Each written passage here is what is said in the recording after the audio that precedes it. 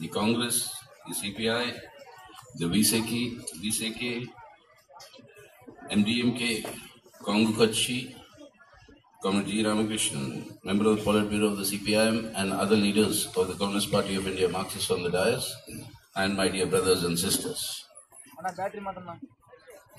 எனக்கு சிறு சிறு தமிழ் தெரியும் இருந்தாலும் நான் ஆங்கிலத்தில் உரையாற்றுகின்றேன் இந்த கூட்டத்திற்கு தலைமை தாங்கியிருக்கின்ற தோழர் ராமமூர்த்தி அவர்களே இந்த மேடையில் வீற்றிருக்கின்ற திராவிட முன்னேற்றக் கழகம் அகில இந்திய காங்கிரஸ் இந்திய கம்யூனிஸ்ட் கட்சி விடுதலை சிறுத்தைகள் கட்சி மதிமுக இந்திய முஸ்லீம் லீக் மற்றும் கொங்கு தேசிய மக்கள் கட்சி தோழர் ஜிஆர் தோழர் பிஆர்என் ஆகிய அனைத்து தோழர்களுக்கும் நான் வணக்கத்தை தெரிவித்துக் கொள்கின்றேன் I'm very happy to come back to Coimbatore. It was known, it was known as the pump city of India, the largest producer of pumps in the whole country. But unfortunately, when I came here now, I saw that out of the 45,000 small scale factories that were there in uh, Coimbatore, more than half of them are closed down. More than 5 lakh people working there in these small factories are now today unemployed. And the overall economy in the whole state has been ruined because of the AIDMK state government's policies. And it is one of the worst states in terms of total debt that has been incurred by the state government. Now, this is putting immense problems on the livelihood of the vast majority of the people of Tamil Nadu. And therefore, this is the time for all of us to make sure that these policies are defeated. That means in the state, the AIDMK government should be defeated. And in India, this Modi government and the BJP government must be defeated. That is the only way in which we can improve our livelihood.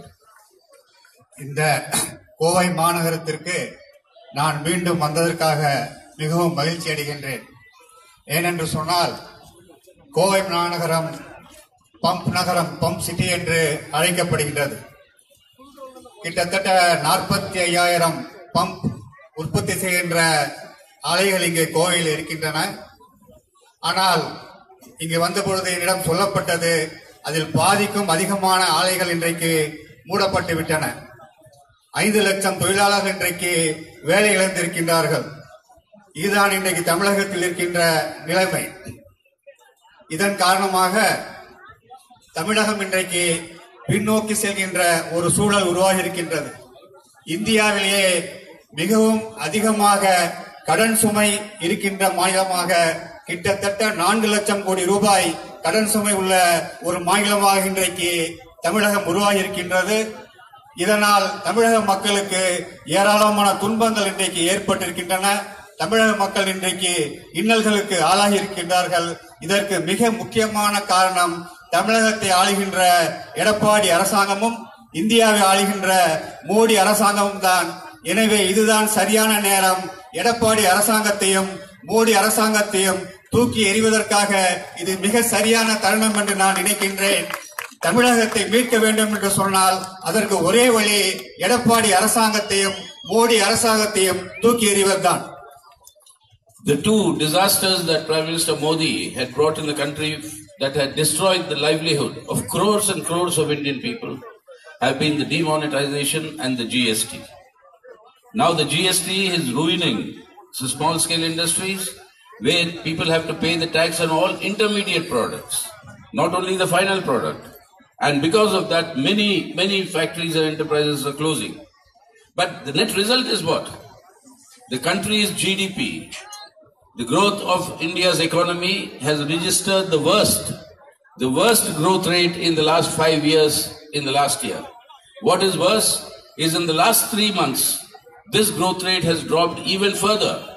That means in the coming period, the economic problems before the country and the livelihood of the people will be most adequate, most I adversely affected. Unemployment is growing to an all-time high. Last year alone, 1 crore 10 lakh people lost their jobs, those who are working. Your farmers are continuing to commit suicides. Your workers are struggling to retain their employment and meet their day-to-day needs through the bigger wages that they are getting. The government refuses to give a guaranteed minimum wage for our industrial workers, even for the unskilled workers. In such a situation, if today the potential of India has to be realized by the people of India, there is no other way but to defeat the policies being pursued by this Modi government at the center, and that is why the CPIM and all the friendly parties here have together come to the come to a common platform to say that saving India today in order to change India for a better India tomorrow means at the center the BJP and this Modi government must be defeated. And that is the principal task before all of us. Narendra Modi பிரதமரான பிறகு அவர் எடுத்த பல நடவடிக்கைகள் தேசத்தை அழிப்பதற அழிக்கின்ற வகையில் இருக்கின்றன அதில் மிக முக்கியமான இரண்டு நடவடிக்கைகள் ஒன்று பணமதிப்பு நீக்கம் இன்னொன்று ஜிஎஸ்டி அறிமுகப்படுத்தியது என்பது இந்த இரண்டு நடவடிக்கைகளுமே இன்றைக்கு இந்தியாவில் இருக்கின்ற மிக அதிகமான கணிசமான சிறு தொழிலை இன்றைக்கு அழித்து விட்டன. இதன் காரணமாக பல தொழிலாளர்கள் இன்றைக்கு வேலை இழந்திருக்கின்றார்கள். இதனுடைய விளைவுகள் என்ன? இந்தியாவின் மொத்த உற்பத்தி என்று சொல்லப்படுகின்ற ஜிடிபி கிராஸ் டொமஸ்டிக் ப்ராடக்ட் என்று சொல்லப்படுகின்ற மொத்த உற்பத்தி என்பது இன்றைக்கு ஐந்து ஆண்டுகளிலே மிக மோசமான அளவிற்கு இன்றைக்கு இருக்கின்றது. அதிலும் குறிப்பாக கடந்த மூன்று மாதங்களில் இந்த ஜிடிபி உற்பத்தி சரிவு என்பது மிகவும் அதிகமாக இன்றைக்கு இருக்கின்றது. இதன் காரணமாக வேலையின்மை என்பது மிக பெரிய அளவாக உருவாகியிருக்கின்றது. கடந்த ஒரு ஆண்டில் மட்டும் நண்பர்களே ஒரு கோடியே பத்து லட்சம் தொழிலாளர்கள் இன்றைக்கு இந்தியாவிலே வேலை இழந்திருக்கின்றார்கள். விவசாயிகள் தற்கொலை செய்து கொண்டிருக்கின்றார்கள். தொழிலாளர்கள் தங்களுடைய வாழ்வாதாரத்தை பாதுகாத்துக் கொள்ள முடியவில்லை. அவருடைய குறைந்தபட்ச தேவைகளை கூட இன்றைக்கு நிறைவேற்றிக் கொள்ள முடியவில்லை. அவர்கள் குறைந்தபட்ச ஊதியமாக பதினெட்டாயிரம் ரூபாய் கேட்கின்றார்கள். அந்த பதினெட்டாயிரம் ரூபாய் கூட இன்றைக்கு மாதத்திற்கு கொடுக்க முடியவில்லை. இதனால் என்ன நிலைமை ஏற்படுகின்றது? இந்தியா ஒரு வளமிக்க தேசமாக இருந்தாலும் அந்த வளங்களை பயன்படுத்திக் கொண்டு முன்னேறுவதற்கான வாய்ப்பு என்பது இன்றைக்கு மோடி அரசாங்கத்தால் தடுக்கப்பட்டிருக்கின்றது. மோடி அரசாங்கத்துடைய ஆட்சியின் காரணமாக இன்றைக்கு இந்தியா வீழ்ந்து கொண்டிருக்கின்றது. இந்த வீழ்ச்சியை தடுப்பதற்காகத்தான் இந்த மேடையில் இருக்கின்ற அனைத்து கட்சிகளும் ஒன்று சேர்ந்திருக்கின்றன. இந்த அனைத்து கட்சி ஒற்றுமையுடைய ஒரே நோக்கம் என்பது இந்தியாவுடைய நிலைமையை மாற்ற வேண்டும். ஒரு நல்ல இந்தியாவை உருவாக்க வேண்டும். அத்தகைய இந்தியாவை உருவாக்க வேண்டும் என்று சொன்னால் மோடி அரசாங்கம் தூக்கி எறியப்பட வேண்டும்.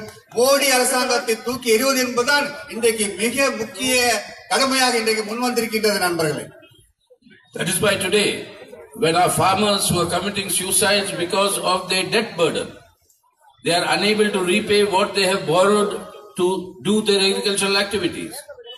The Prime Minister says there is no money to give a loan waiver to our farmers.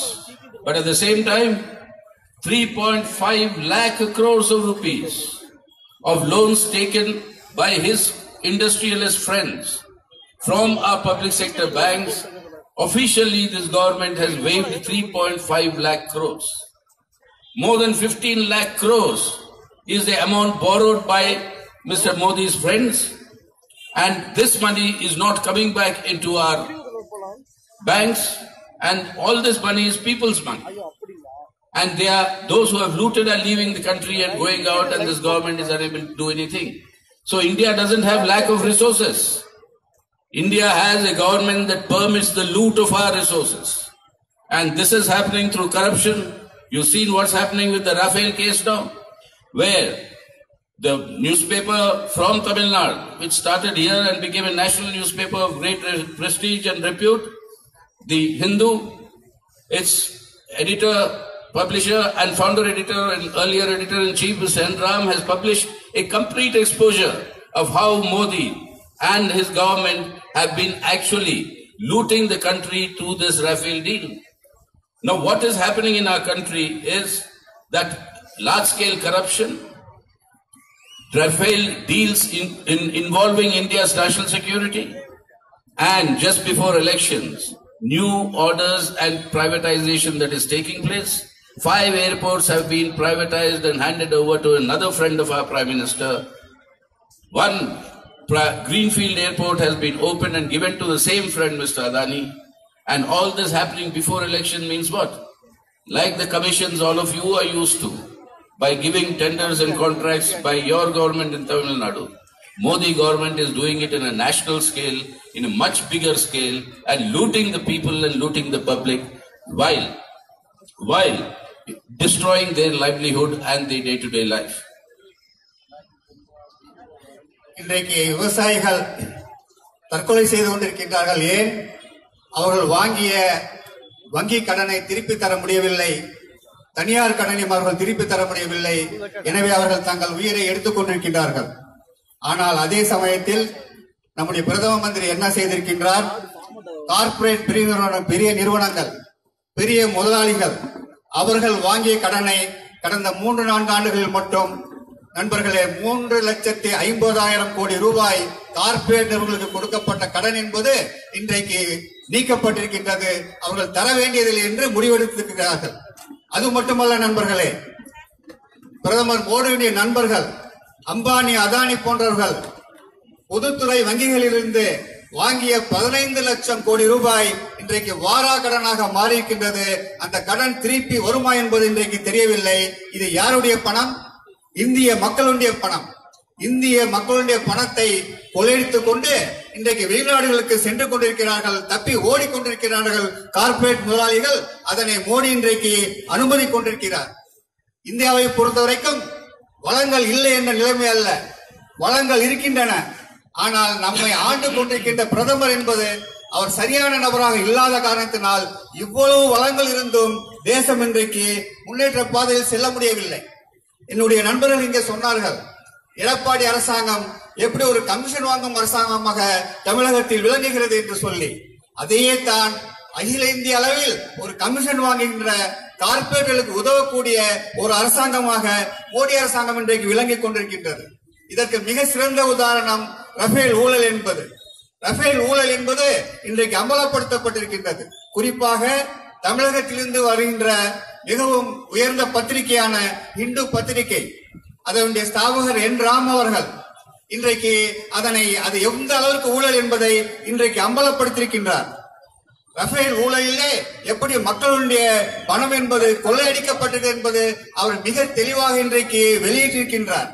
அது மட்டுமல்ல நண்பர்களே இன்றைக்கு மோடியுடைய இன்னொரு நண்பர் அதானி. அந்த கௌதம் அதானிக்கு இன்றைக்கு ஐந்து மிகப்பெரிய விமான நிலையங்கள் தாரை வார்க்கப்பட்டிருக்கின்றன இந்த ஐந்து விமான நிலையங்களும் இன்றைக்கு அரசாங்கத்தால் நிர்வகிக்கப்பட்டு நிர்வகிக்கப்படுகின்ற விமான நிலையங்கள். அவற்றை எடுத்து அதானிக்கு இன்றைக்கு தரப்பட்டிருக்கின்றது. ஏனிவையெல்லாம் தேர்தலுக்கு முன்பாக நடக்கின்றது? தேர்தலுக்கு முன்பாக இவையெல்லாம் நடப்பதற்கான காரணம் என்ன என்று சொன்னால் மக்களை இன்றைக்கு கொள்ளடிக்க வேண்டும். மக்களுடைய பணத்தை எடுத்து இந்த ஆட்சி முடிவதற்கு முன்பாக மோடி தன்னுடைய கார்பரேட் நண்பர்களுக்கு அதானிகளுக்கு அம்பானிகளுக்கு தருவதற்காக இன்றைக்கு முயற்சி செய்து கொண்டிருக்கின்றார் அதுதான் இன்றைக்கு நடந்து கொண்டிருக்கிறது நண்பர்களே That is why today, all the promises that were made five years ago have all been betrayed. Two crores every year, new jobs. That is, by now, ten crores should have been created. On the other hand, the reality is people are losing their existing jobs. They promised to give our farmers one and a half times the production costs as remunerative price. Today, farmers are committing suicides because they are not prepared to give even loan waivers. In every single field, the promises that are made have all been betrayed, and today they are coming back to seek our support to form the government again. Now, and before coming, they are giving some sops or lollipops, as the Prime Minister calls, some lollipops by saying that they will give 2000 rupees to every farmer with having a small farmer having a small piece of land. 2000 rupees. Farmers are committing suicides. Tamil Nadu farmers came to Delhi to the to the uh, to the parliament, and what did they carry with them? They carried white rats. They said, "This is all that we have to eat now, because neither is our debt being waived by the government, nor are we being given any relief." They were dying out of starvation. The Annadata, who produces food so that you and I live, that Annadata is dying out of starvation. And that is how they have ruined the lives of the people. And now they come with these lollipops. They say to the worker who pays for 30 years a certain amount of money every month, they he'll get a pension after 30 years, after the age of 60. What the worker pays now for 30 years, if you add the interest on it for three, four years, that that will be that will be sufficient for him to draw that sort of a pension. But all these gimmicks, electoral gimmicks that come, they come before the election and they want to mislead the people. We must see through these gimmicks. These gimmicks uh, remind me of a story which will I continue? That reminds me of a story in my mother tongue. I mean, those who know Telugu will understand it's called Jebudonga. Jebudonga is pickpocket. The story is about a worker who works in a small factory. He takes his and, uh, monthly uh, wages and then boards a bus to go to his home.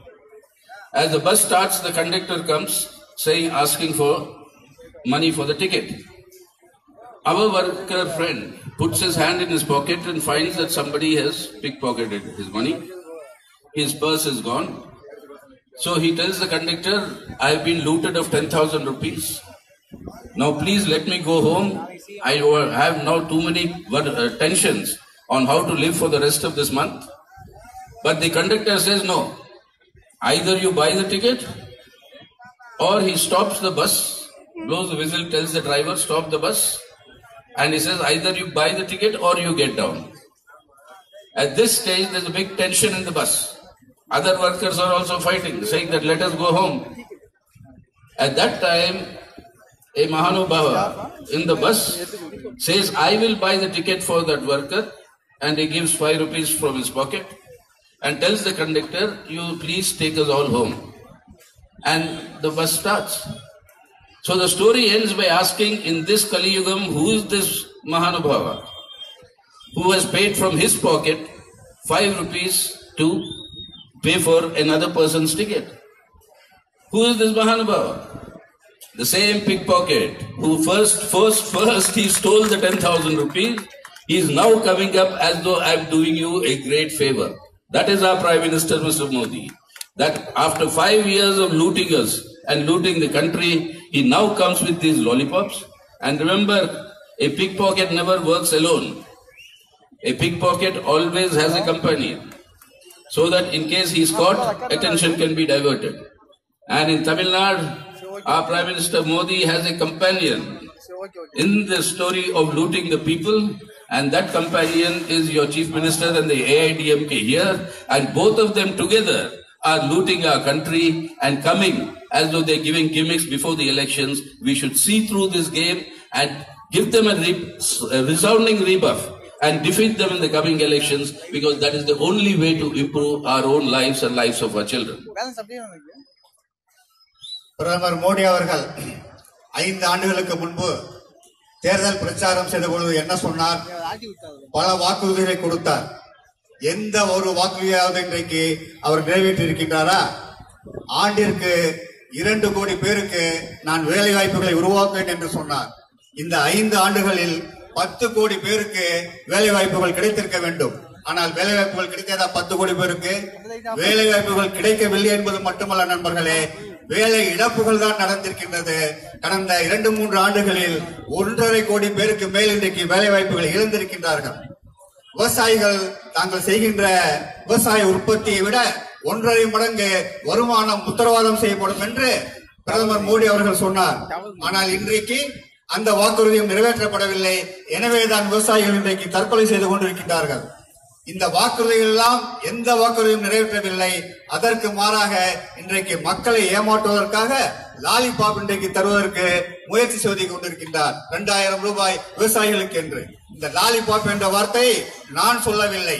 பிரதமர் மோடி அவர்கள்தான் விவசாயிகளுக்கு கடன் நீக்கப்பட வேண்டும் என்று சொல்ல பொழுது அந்த முயற்சி என்பது விவசாயிகளுக்கு தரப்பட வேண்டிய லாலிபாப் அது ஏற்றுக்கொள்ள முடியாது என்று சொன்ன அதே பிரதமர் மோடி தான் இன்றைக்கு விவசாயிகளுக்கு இரண்டாயிரம் ரூபாய் இன்றைக்கு தருகின்றார்.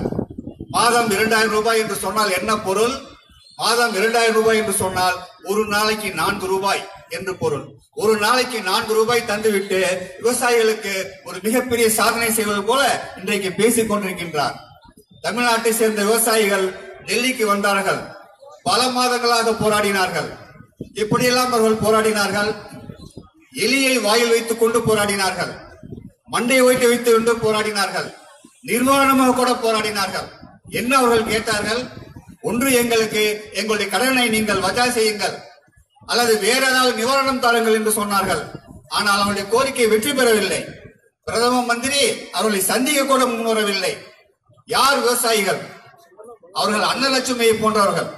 இந்த தேசத்திற்கே உணவை உருவாக்குவர்கள் உருவாக்குகின்ற அன்னலட்சுமிகள் தான் அந்த விவசாயிகள். ஆனால் அந்த விவசாயிகளுக்கு இன்றைக்கு லாலிபாப் தந்து ஏமாற்றுவதற்காக இன்றைக்கு மோடி இதை முயற்சி செய்து கொண்டிருக்கின்றார்.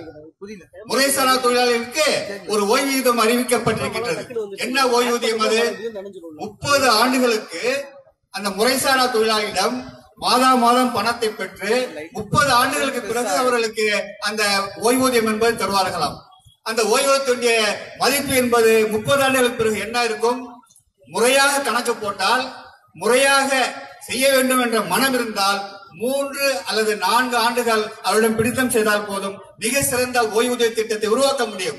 ஆனால் மோடி அவர்கள் முப்பது ஆண்டுகள் அதுவும் முறைசாரா தொழிலாளியிடம் மாதம் மாதம் பிடித்து அதற்கு பிறகு ஓய்வூதியம் தருவேன் என்று இன்றைக்கு ஒரு மோசடியான வார்த்தை இன்றைக்கு சொல்லிக் கொண்டிருக்கின்றார். ஐந்து ஆண்டுகள் எதுவும் செய்யாமல் கோரிக்கைகளை நிறைவேற்றாமல் இந்த மக்களுக்கு துரோகம் செய்துவிட்டு இப்பொழுது வந்து சில மோசடி செயல்களை இன்றைக்கு செய்து கொண்டிருக்கின்றார். அந்த மோசடி செயல்களை பார்க்கும் பொழுது எனக்கு ஒரு கதை தான் இன்றைக்கு நினைவு வருகின்றது. ஒரு ஆலையிலே மாத ஊதியம் போடுகிறார்கள். ஒரு தொ- தொழிலாளர்கள் பத்தாயிரம் ரூபாய் மாத ஊதியம் வாங்கிக் கொண்டு ஒரு பேருந்திலே வீட்டுக்கு போவதற்காக செல்கிறார்கள். ஒரு தொழிலாளரிடம் கண்டக்டர் வர நடத்துனர் வர்றார் டிக்கெட் கேட்கிறார். டிக்கெட் வாங்குவதற்காக ஒரு அவருடைய பாக்கெட்ல கையை விட்ட பொழுது அவருடைய பர்ஸ் அதுல இல்ல. பத்தாயிரம் ரூபாய் யாரோ வந்து பிக் பாக்கெட் அடிச்சுட்டாங்க. ஆகவே அந்த நடத்தினர் அவர் என்ன சொல்றாரு தொழிலாளி? வீடு எனக்கு பக்கத்துல தான் இருக்கு. நீங்க அது வரைக்கும் பஸ்ஸை விடுங்க. நாங்க இடம் வாங்கி தந்துறேன்னு சொல்றாரு. நடத்தினர் முடியாது என்று சொல்றார். ஒண்ணு டிக்கெட் வாங்க. இல்லாட்டி பஸ் போகாது என்று பேருந்து நிறுத்தப்படுகின்றது. ஒரே குழப்பமாக இருக்கின்றது. சிலர் வந்து அந்த நடத்துனருக்கு ஆதரவாக பேசினார்கள். தொழிலாளர்கள் அந்த தொழிலாளிக்கு ஆதரவாக பேசினார்கள். ஆனால் பேருந்து நின்று விட்டது. அப்போ என்ற அந்த பேருந்துல இருந்து ஒருத்தர் வரார் என்ன பிரச்சனை என்று கேட்கிறார். இதுதான் பிரச்சனை என்று சொல்றாங்க. இந்த ஐந்து ரூபாய்க்காக அந்த பேருந்து நிக்கிறது நான் பாக்கெட்ல இருந்து தரேன் என்று சொல்லி அவர் அந்த ஐந்து ரூபாய் தர்றார். ஐந்து ரூபாய் தந்த பிறகு பேருந்து செல்கிறது. எல்லாரும் சொல்றாங்க இப்படி எல்லாம் கலியுகத்துல ஒரு ஆள் இருக்காருயா இப்படி ஒரு ஆள் இருக்கிறதுனால தான் நாட்டுல மழை பெய்யுது. இந்த கலியுக நாயகன் இருக்கிறதுனால தான் இன்றைக்கு நம்ம பேருந்து ஓடுகிறது சொன்னார். யார் அந்த கலியுக நாயகன்? அந்த கலியுக நாயகன் தான். அந்த பத்தாயிரம் பர்சன் பர்ச பிக்பாக்கெட் அடிச்சார். அந்த பத்தாயிரம் ரூபாய் பிக்பாக்கெட் அடிச்சிட்டு அவரே அந்த ஐந்து ரூபாய் தருகிறார் இல்லையா? அதை போலதான் இன்றைக்கு மோடி செய்கிறார். ஐந்து ஆண்டுகளாக இந்த மக்களை கொள்ளையடித்து விட்டு எந்த வாக்குறுதியும் நிறைவேற்றாமல் ரஃபேல் ஊழல் செய்துவிட்டு அவருடைய நண்பர்களுக்கு ஏராளமான லட்ச லட்சக்கணக்கான கோடிக்கணக்கான பணத்தை தந்துவிட்டு இன்றைக்கு விவசாயிகளுக்கு இரண்டாயிரம் ரூபாய் தருகிறேன். விவசாய தொழிலாளர்களுக்கு ஓய்வூதியம் தருகிறேன் என்பது இந்த பிக் பாக்கெட் செய்வது போலத்தான். ஆனால் நண்பர்களே பிக்பாக்கெட்கார யாருமே தனியா செயல்படுவதில்லை. அவங்க ஒரு கேங்கா தான் செயல்படுவாங்க. அப்போதான் அவருடைய கவனத்தை திசை திருப்பி பிக்பாக்கை செய்வதற்கு அப்படி மோடிக்கு இந்த பிக் பாக்கெட்ல பார்ட்னர் யார் என்று சொன்னால் தமிழகத்தின் எடப்பாடி.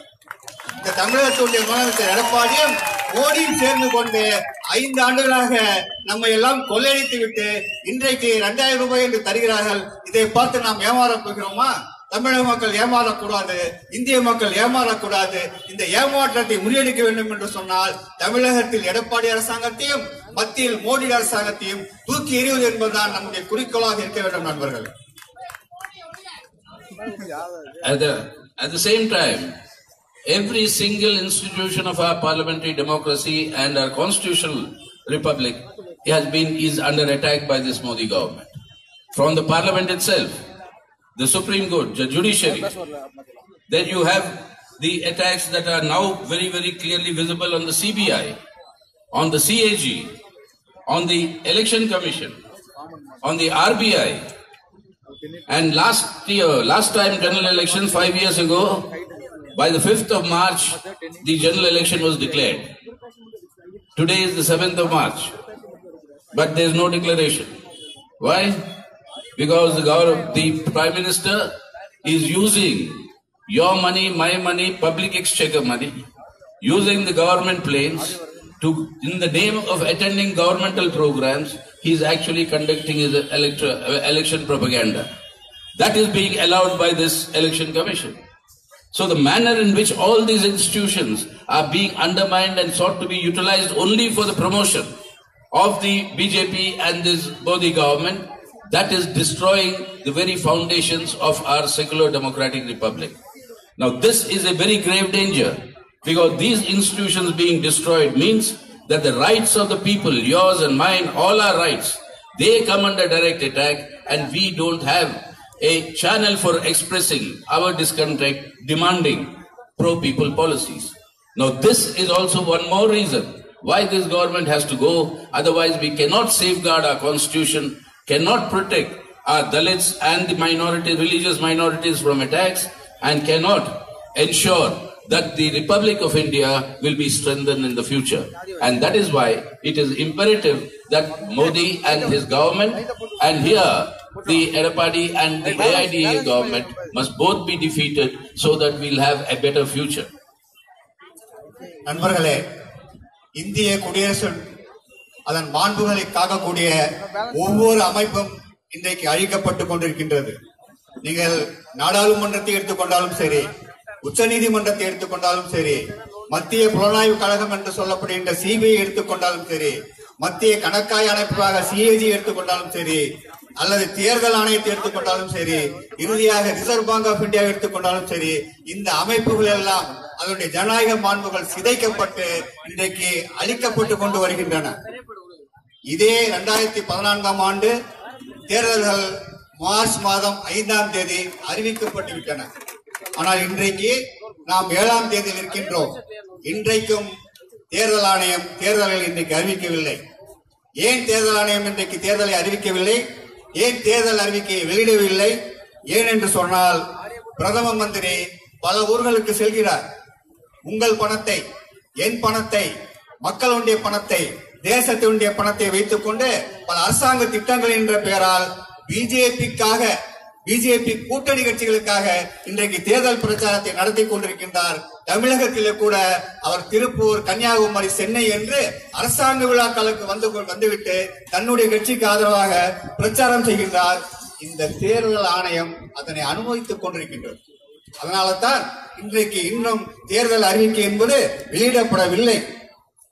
மோடி அரசாங்கம் இன்றைக்கு பல திட்டங்களை அறிவிப்பதற்கு ஏதுவாக கடைசி நேரத்தில் மக்களை திசை திருப்ப அறிவிப்பதற்கு ஏதுவாகத்தான் இன்றைக்கு தேர்தல் ஆணையம் அவ்வாறு செயல்பட்டுக் கொண்டிருக்கின்றது. தேர்தல் ஆணையம் மட்டுமல்ல நண்பர்களே இந்திய குடியரசுடைய அனைத்து முக்கியமான அமைப்புகளும் இன்றைக்கு மோடி அரசாங்கத்திற்கு ஆதரவாக மாற்றப்பட்டு சிதைக்கப்பட்டிருக்கின்றன.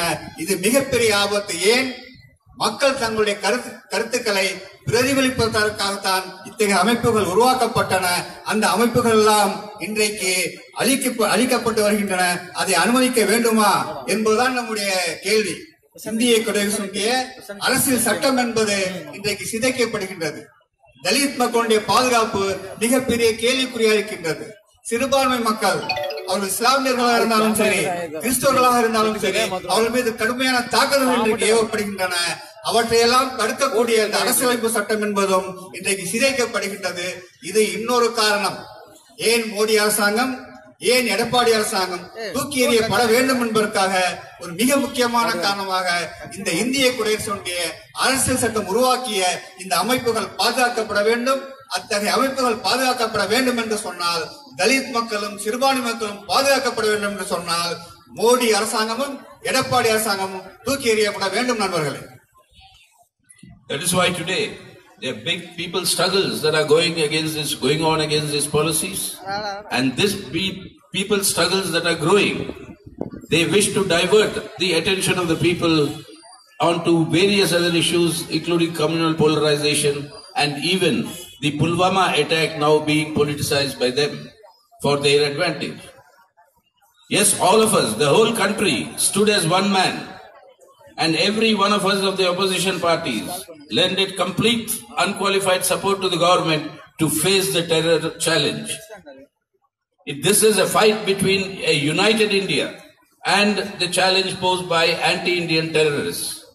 And in this fight, the country should be united in succeeding and defeating our enemies who are using our soil of our neighborhood. That government is permitting cross-border terrorism and that has to be answered through a united India. But what do we see? We all hailed the fact that the Indian Air Force, our brave soldiers and pilots, have chosen the targets and hit those targets. That was congratulated by all of them, all of us.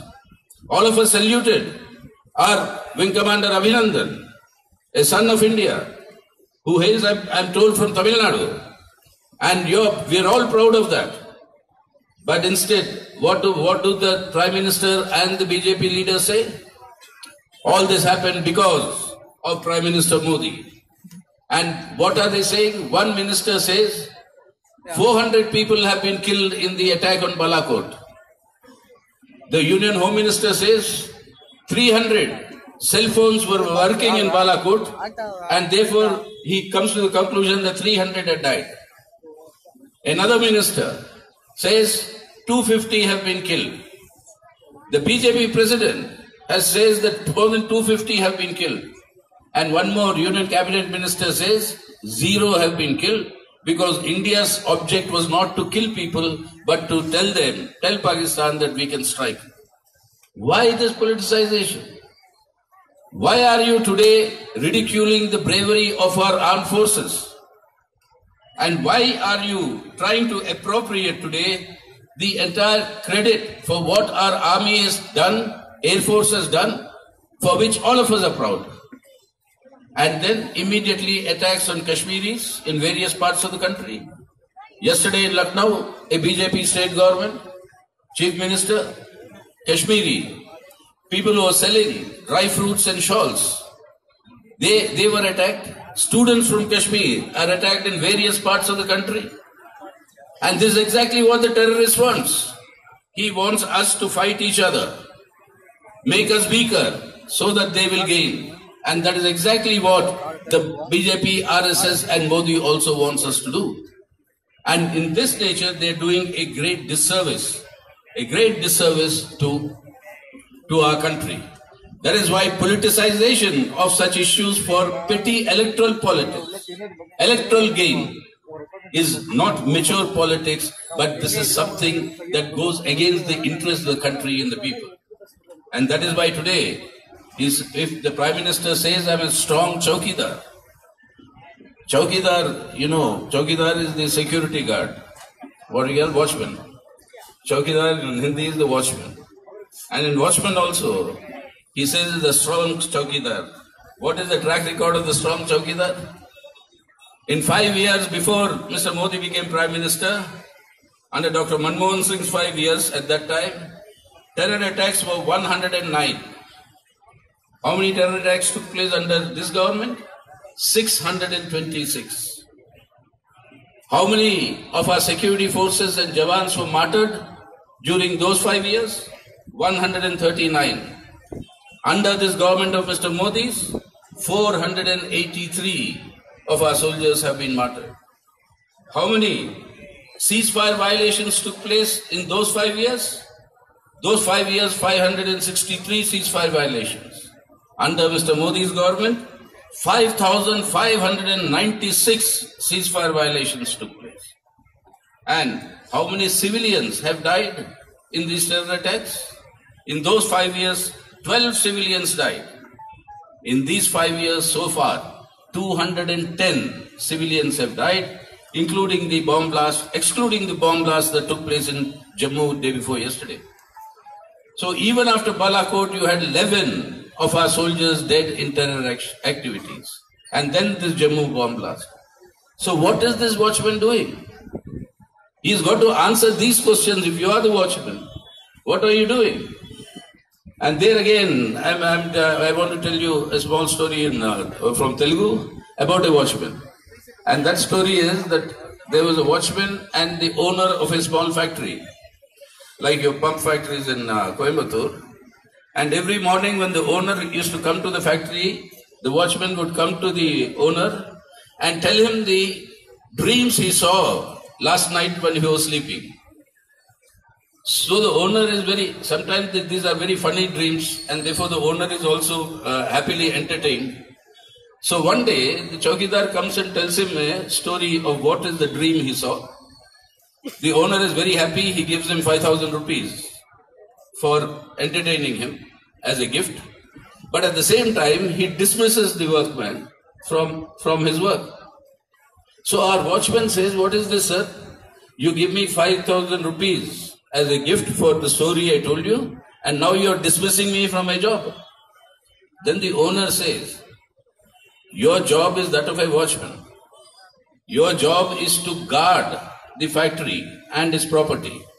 Your job is not to sleep at night and see dreams and then come and tell me those dreams and the stories of those dreams. And that is the watchman of our Prime Minister today. Every day he comes to a different city and tells a new dream A new dream, but when his job is actually to protect the country. And like the owner in the story dismissed that watchman. The Prime Minister is the watchman for when the owner are the people of India, you and me. It is time now this owner, that is you and me, people of India, must dismiss this watchman in the interest of our country and for protecting our country. இந்த சூழ்நிலையில்தான் மகத்தான மக்களுடைய போராட்டங்கள் இன்றைக்கு நடந்தன. விவசாயிகள் நீண்ட பயணத்தை- பயணத்தை நடத்தினார்கள். தொழிலாளர்கள் பல அகில இந்திய வேலை நிறுத்தங்களை நடத்தினார்கள். இன்னும் பல உழைப்பாளிகள் பலதரப்பட்ட போராட்டங்களை நடத்தினார்கள். ஆனால் போராடுகின்ற மக்களின் கவனத்தை திசை திருப்புவதற்காகத்தான் பல்வேறு மத கலவரங்கள் ஜாதிய கலவரங்கள் இன்றைக்கு உருவாக்கப்படுகின்றன. மதத்தின் அடிப்படையிலே மக்களுடைய பிரிவினை உண்டாக்கப்படுகின்றன. அதன் ஒரு விளைவாக புல்வாமா தாக்குதல் என்பது நடைபெற்றது. புல்வாமா தாக்குதலிலே நம்முடைய வீரர்கள் நாற்பதுக்கும் அதிகமானவர்கள் இறந்து போனார்கள். அந்த தீவிரவாத தாக்குதலிலே இறந்து போன அந்த வீரர்களுக்கு நன்றி செலுத்தவும் தேசத்தை பாதுகாக்கவும் இந்த தேசத்தில் இருக்கின்ற அனைவரும் ஒரே மனிதனாக நின்றார்கள். மக்களிடையே ஜாதி மத வித்தியாசம் இல்லாமல் மாநிலங்களுடைய வித்தியாசம் இல்லாமல் பிரதேசங்களுடைய வித்தியாசம் இல்லாமல் எல்லா மக்களும் ஒன்றாக நின்று இந்த தீவிரவாதத்தை எதிர்க்க வேண்டும் என்ற நிலைக்கு இன்றைக்கு அன்றைக்கு வந்தார்கள். ஒரு பக்கம் ஒன்றுபட்ட இந்தியா இன்னொரு பக்கம் தீவிரவாதிகள். யார் அந்த தீவிரவாதிகள்?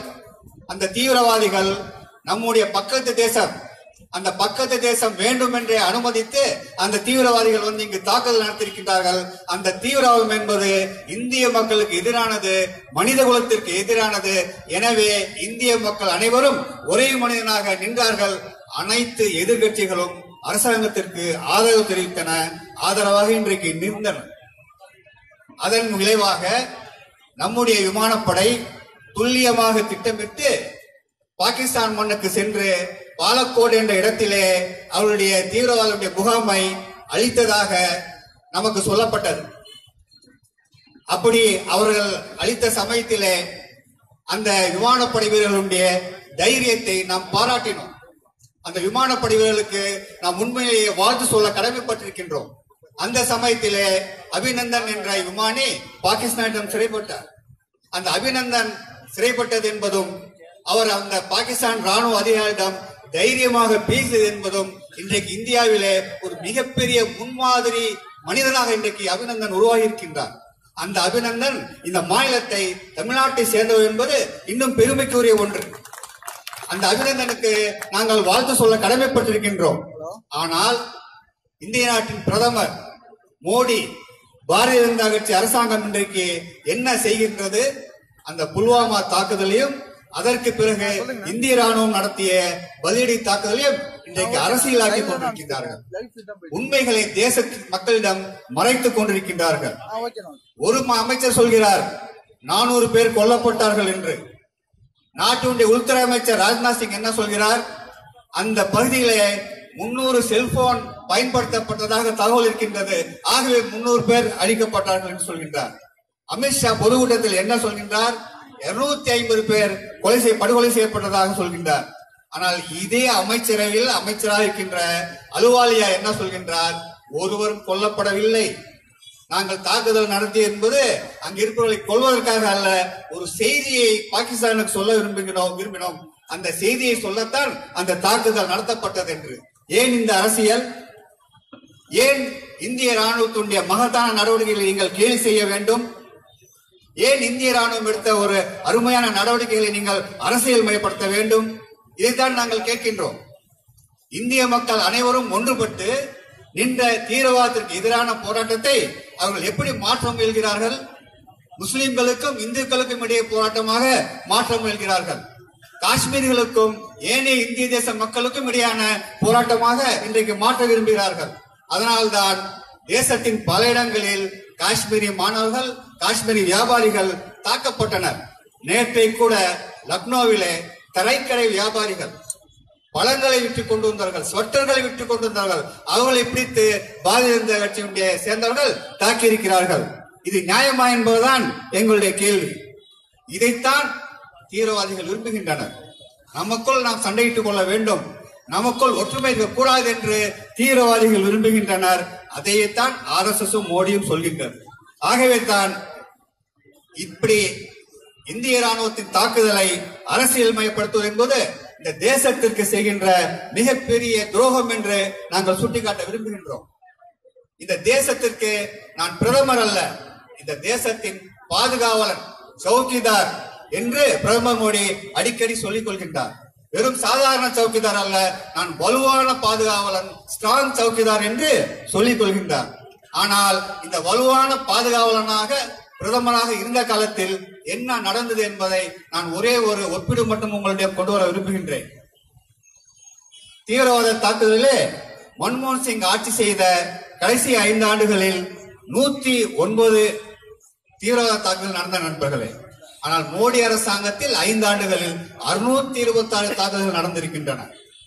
நம்முடைய பாதுகாப்பு ஊழியர்கள் ராணுவ ஊழியர்கள் மன்மோகன் சிங்கினுடைய ஐந்து ஆண்டு கால ஆட்சியிலே நூத்தி முப்பத்தி ஒன்பது பேர் உயிரிழந்தார்கள். ஆனால் மோடியின் ஆட்சியிலே நானூத்தி எண்பத்தி மூன்று பேர்கள் உயிரிழந்தார்கள். அதே போல போர் நிறுத்த மீறல் என்பது பாகிஸ்தான் செய்த மீறல் என்பது மன்மோகன் சிங் ஆட்சியிலே ஐநூத்தி அறுபத்தி மூன்று. ஆனால் மோடியின் ஆட்சியிலே இந்த போர் நிறுத்த மீறல் என்பது ஐயாயிரத்தி ஐநூத்தி தொண்ணூத்தி ஆறு நண்பர்கள். மன்மோகன் சிங் ஆட்சி செய்த ஐந்து ஆண்டுகளில் பனிரெண்டு மக்கள் குடிமக்கள் கொல்லப்பட்டார்கள். ஆனால் மோடி நாட்டிலே இருநூத்தி பத்து பேர் இன்றைக்கு வந்து கொல்லப்பட்டிருக்கின்றார்கள். பாலக்கோட்டிலே தாக்குதல் நடத்தினோம். ஆனால் நேற்றைக்கு ஜம்முவில குண்டுவெடிப்பு நடந்திருக்கின்றது. இப்ப பாலக்கோட் தாக்குதலுடைய பலன் என்ன என்ற கேள்வி இயற்கையிலேயே எழுகிறது அல்லவா? சௌக்கிதராகிய பாதுகாவலராகிய நீங்கள் என்னத்தை பாதுகாப்பு செய்தீர்கள்?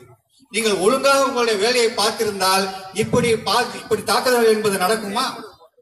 இந்த சவுக்கிதார் என்று தன்னைத்தானே பாதுகாவலன் என்று மோடி சொல்லி சொல்லும் போது எனக்கு இன்னொரு தெலுங்கு கதை நினைவுக்கு வருகிறது.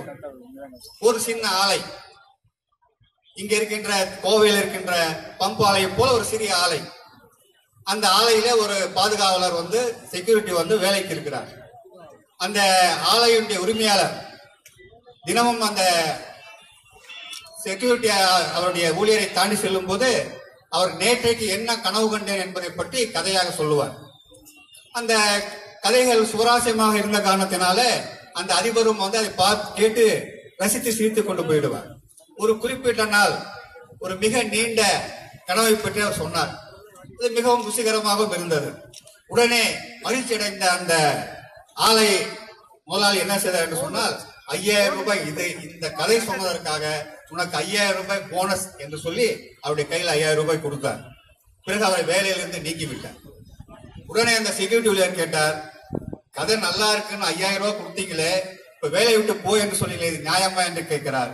அதற்கு அந்த முதலாளி சொன்னார் உன்னுடைய கடமை என்ன? செக்யூரிட்டி ஊழியர் என்ற முறையினுடைய கடமை இந்த சொத்துக்களை பாதுகாப்பது. ஆனா நீ என்ன செஞ்சிட்டு இருக்க? தூங்குற. தூங்குறதுனால தான் கனவு காண்ற. கனவு காண்றதுனால தான் எனக்கு கதையை சொல்றேன் தூங்குபவன் எப்படி சொத்துக்களை பாதுகாக்க முடியும்? ஆகிய உன்னுடைய கடமையிலிருந்து தவறி விட்டாய் எனவே வேலையிலிருந்து நீக்குகிறேன் என்று சொன்னார் அதை போல இந்த சௌக்கிதாரை இந்த பாதுகாவலனை